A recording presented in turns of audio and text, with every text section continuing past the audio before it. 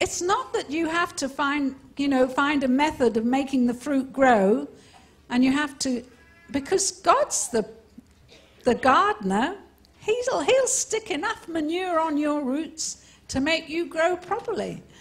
He'll do everything necessary for you to grow. He'll do everything necessary for that abundant life to come forth. And that gives him glory. He loves to see his children with abundant life. He loves to see them with life that is flowing over. He loves to see that. He said, I will give you life and life more abundant. As the Father hath loved me, so have I loved you. Continue ye in my love. If you keep my commandments, you shall abide in my love, even as I have kept my Father's commandments and abide in his love.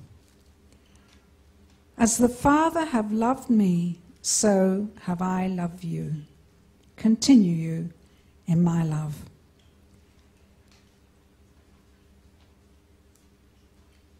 We experience the love of the Father we know the love of the Father when we know that abundant life. And He says, You just have that love flowing through you.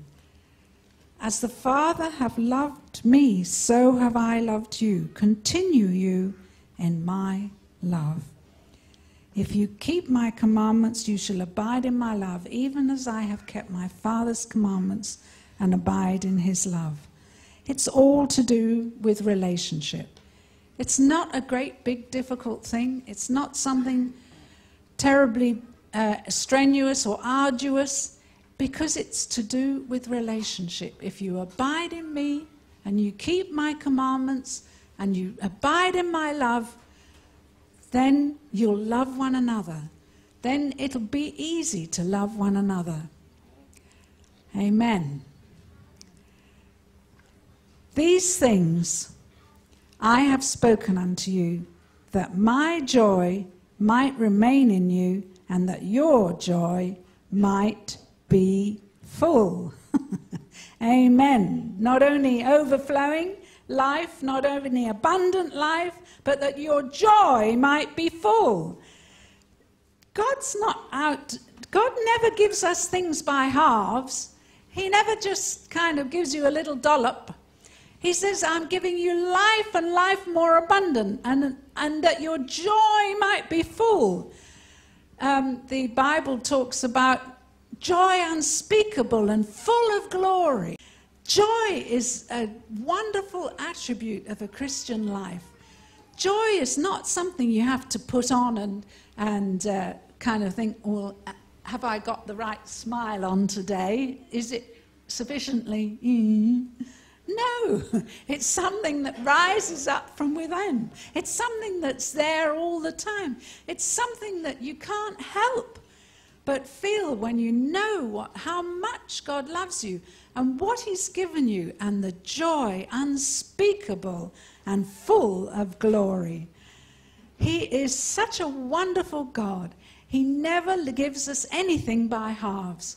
He says, I, I want you to bear much fruit. And he, he'll, ha- he'll have a way of making us do it.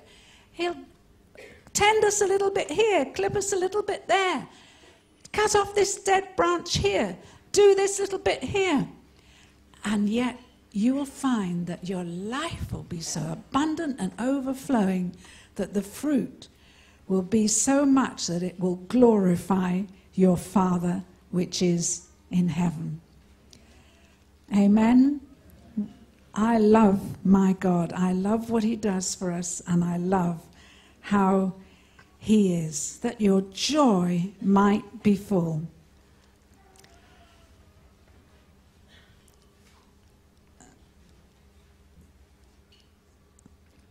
And then he says, This is my commandment that you love one another as I have loved you.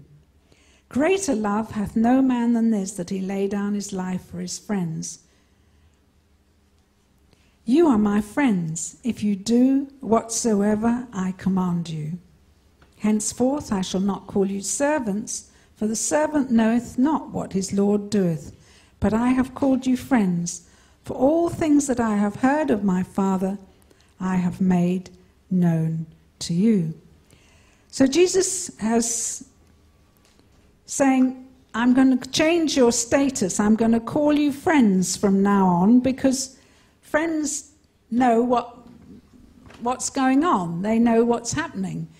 As a servant, you, you get told, do this, do that, do the other, and you don't understand. You don't know where, why the master said those things, but as a friend, you'll understand.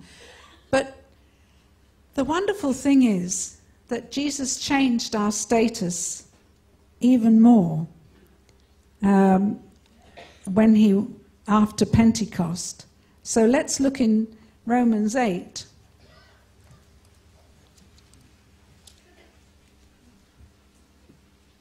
And 15 and 16. For you have not received the spirit of bondage again to fear, but you have received the spirit of adoption, whereby we cry, Abba, Father.